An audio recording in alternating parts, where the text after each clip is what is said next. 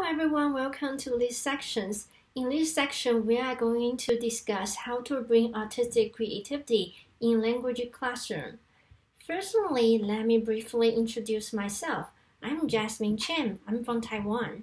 My research focuses on modern Chinese theater, film, visual cultures, and literature. And I also have experiences of teaching Chinese as a second language for many years. Today, I'm going to show you how I bring creative puppetry into uh, Chinese as second language teaching.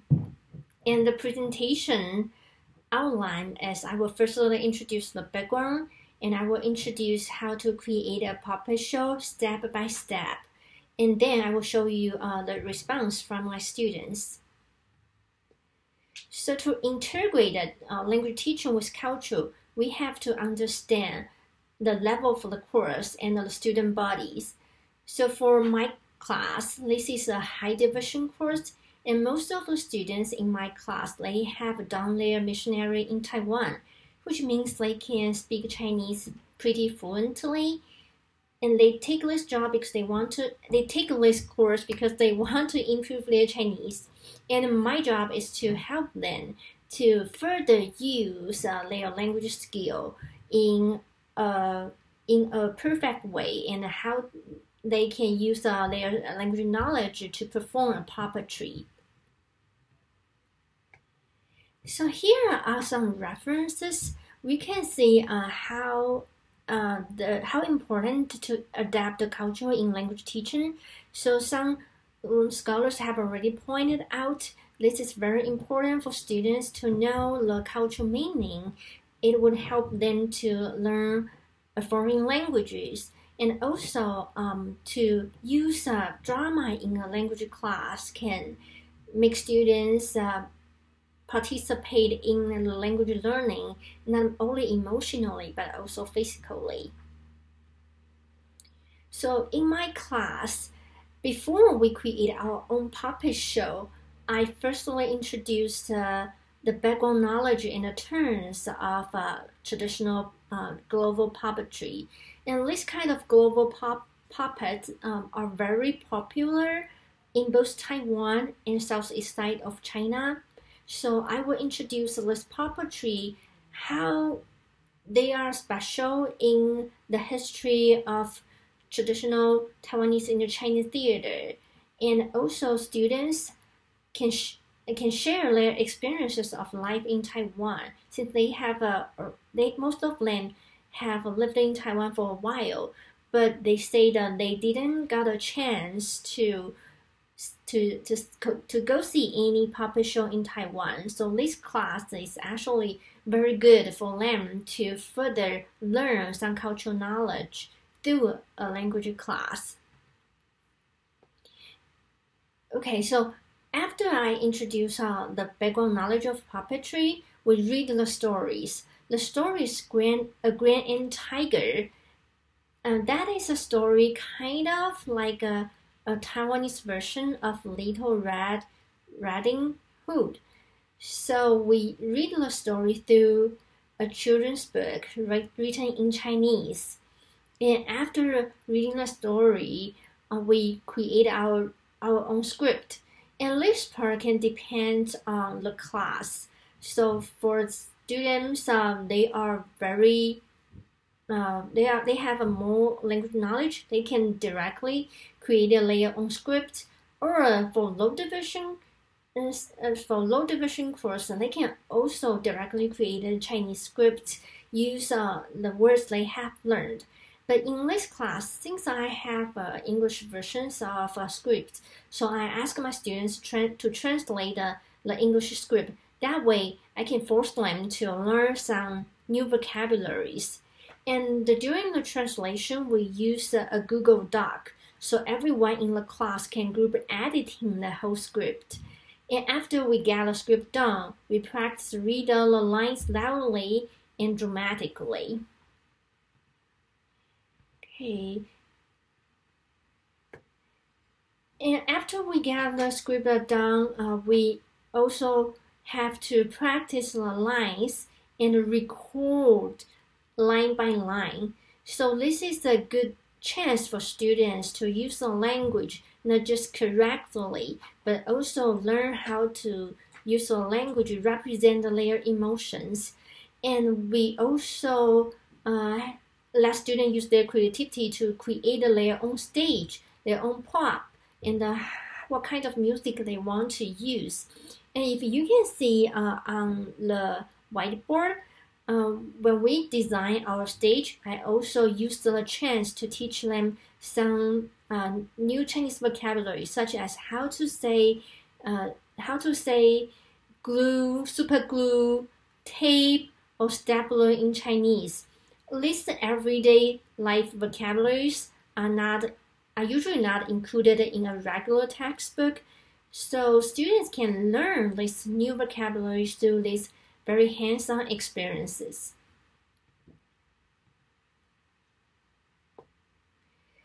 Then we rehearse, we practice and rehearse, re, doing rehearsal for the whole play. So you can see students as hide behind the stage and try to manipulate the puppets. They, and they also practice uh, uh, with each other and try to see what's the best way to perform the character.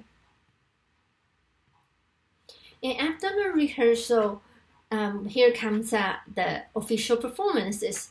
And since uh, at, right after my high division theater course uh, as the Chinese 1010 course, so we we use this chance to introduce uh, the Chinese 1010 course students uh, this uh, Taiwanese folklore, and we invited them as an auditor, as an audience of the performances. So the Chinese 1010 course students definitely cannot understand each of the lines, but they still can guess uh, the story through uh, the performance. So it's a good chance for them to also learn some new Chinese and learn some cultural knowledge. And we also have uh, English versions of a script. So we also bring our creative project to uh, a community outreach to a community outreach uh, performances. And before the puppet show, we use a slide to uh, introduce uh, the local young kids uh, where Taiwan is. So we show the world map and introduce uh, the location of Taiwan and also introduce the basic knowledge of traditional puppetry and we perform the whole whole story. After the performance, we hosted a workshop to teach the the preschool students how to perform the puppets. And the, the, finally, the young kids have their own performance of the whole story. And you can see everyone were very excited. And this is a very good chance for uh, college students to share what they have learned in class with a, a local preschool young children. So here's a uh, here are some response from my students. Uh, so one student said that understanding children's story from any culture is one of the best way to understand what value are important to that culture. And one student said, I never really saw puppet in my mission, but this puppet show has really opened me up to the cultural diversity. And one student also mentioned uh, the script translation was involved because there were multiple parts in the translation where you could translate it in multiple ways. And he also think it's very helpful for him to improve uh, his translation skills because she can she can see other people's uh, translate uh, their parts differently. And they also said uh, the recording part was uh, very helpful with, skipping, with speaking. And they realized that you could read the script with no emotion, but that is not a performance. So when you perform the puppet, the puppetry, actually you have to consider how to represent your emotion in speaking. And and one student believed this puppet show would be a lot more group involved than most projects uh, he has uh, been in for his previous Chinese courses. So we can see um, the outcome of uh, the project is very positive. Within a one, within a puppet show, we connect the language learning with uh, the real world. The project integrates uh, the learning of Chinese with uh, the puppetry culture, folklore, artistic creativity, and even a community service. So students are happy to share what they have learned with the young learners and this is also a good way to attract these young kids to learn Chinese. So here are some references. If you are interested in this topic, you can look at these uh, uh, references are online. And that's my presentation today. Thanks for your attention. Thank you. This is the second part of bringing artistic creativity in language classrooms. And my name is Ekaterina as you can see here. A few words about me. I work at the Intensive English Language Institute here at USU. So the main context of my work and for this presentation is English for academic purposes. I'm also interested in teacher education and I work with ITAs and students in the master's and second language teaching here at USU.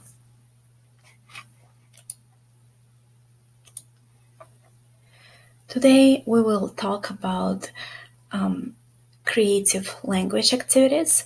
I will say a few words about the background and rationale for these activities and share a few instructional strategies that worked in my classes and can work in other L2 classes, and uh, some advice for L2 educators based on my experience and uh, what I saw in the literature.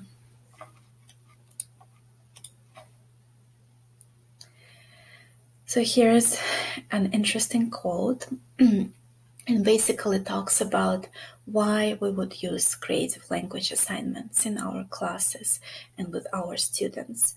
So this kind of assignments, they help um, develop flexible thinking, um, independence of use, high productivity and originality, and um, basically these skills are necessary in all kinds of uh, jobs today. Here's another uh, quote. And uh, as you can see, these um, are quotes from recent research, so it's a very hot topic today. And in this quote, uh, the author um, basically compares the more traditional education that focuses on um, teaching students the same skills, and she calls that cookie cutter education. And um, the other kind of education where we can focus on student imagination and creativity and critical thinking and that uh, actually can uh, help our students uh, feel empowered and give them um, better uh, chances in today's job market.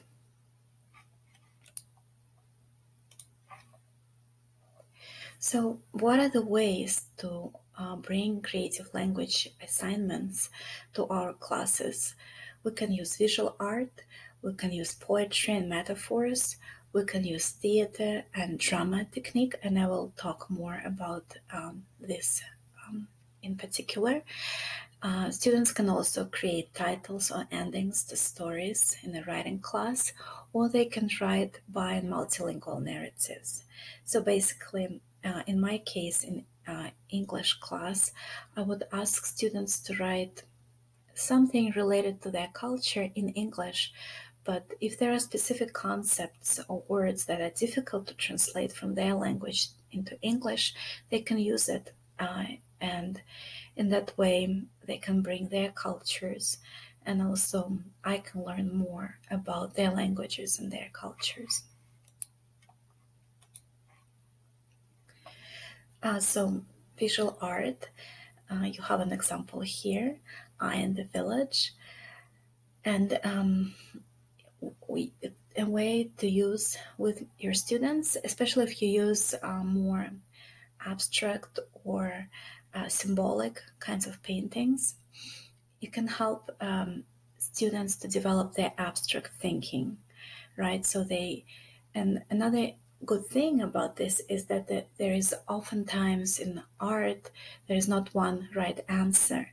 So any answer any interpretation they come up with is fine as long as they can um, build an argument for it right? As, as long as they can um, rationalize it.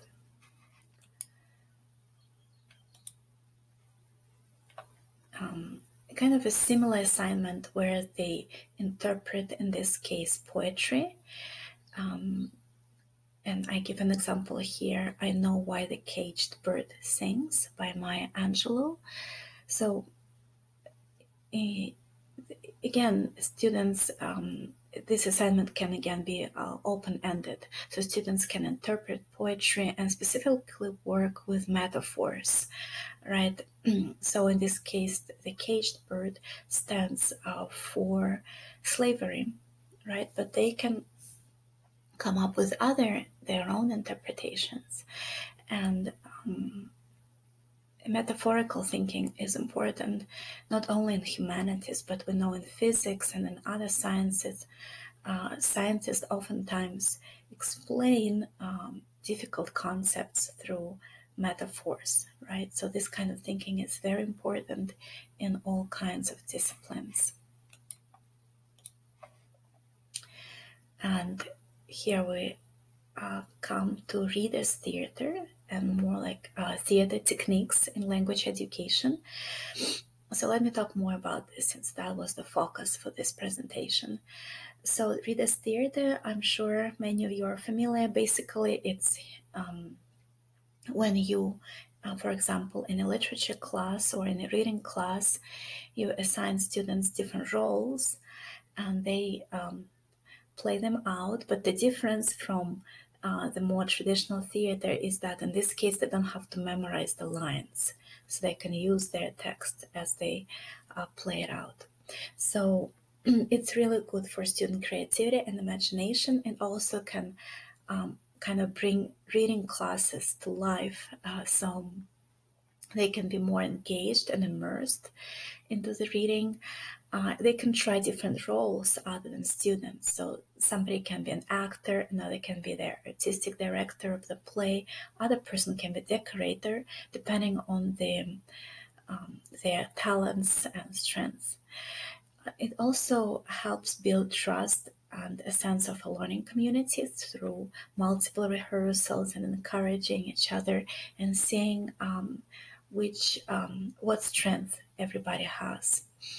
And you can also use that to build collaborative relations outside the class. If you perform this play for another class or even you can take uh, you can um, make, make it into a community outreach project. So in my case, I used um, Harry Potter, and I feel that is that's a reading that can um, appeal to different kinds of um, students from all kinds of backgrounds, and um, you don't have to stay with the text, right? They, they can again be creative and add their own lines or even write a different ending to a particular story. I also like to use movie scripts, and here are a few of my favorites. So it can be thematical, right? Like here you see Grinch and Elf. Um, that's basically Christmas, right? Celebrations. It's also a way to teach culture. Um, there is also something about intercultural experiences. You see here Eat, Pray, Love and English Vinglish, and students can students I work with, like international students and immigrant students, can relate to some of the themes and experiences um, that are played out in these movies, and a way to teach again history and kind of more social awareness or awareness of the social issues that we face today uh, is Invictus, and that is um, um, a story that relates some of the events uh, related to the life of Nelson Mandela. So, a way to work with movie scripts is uh, depending on the student level, you can either uh, assign your students to transcribe, right, uh, a certain segment of the movie and then listen or watch it many times and then play it out. Or you can, if it, uh, the student's level is um, just beginners, you can write out the transcript yourself and then give to your students to um, play them out, act them out in class. And kind of um, you can use those movie scripts as a preparation for this uh, assignment, and those are role plays. So now students themselves write their own kind of mini movies, right? So the topics I like to use is uh, cross-cultural social situations, traditions, or cross-cultural misunderstandings. So the students have to describe the settings that this situation takes place and their particular roles.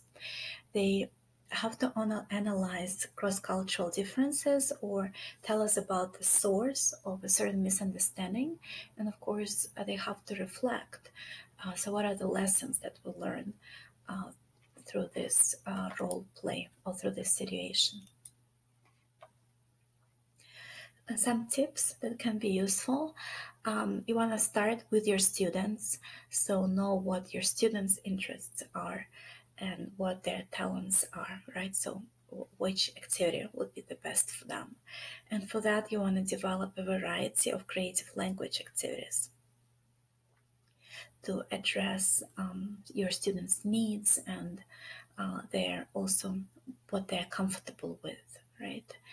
Uh, you can also use these assignments to teach culture and bring in students' cultures, and I shared some tips for that earlier. And uh, these assignments can help build student confidence and communication skills if you take this project outside the class. And I think that can be really important for their uh, college and uh, professional lives later on, this confidence and communicative skills. And um, thank you for your attention. I thought I hope that was useful. If you have questions or comments, you can find me at this email address. And here are also a few references for you if you think that was interesting. Maybe you can follow up with these references. And thank you for your attention. Bye.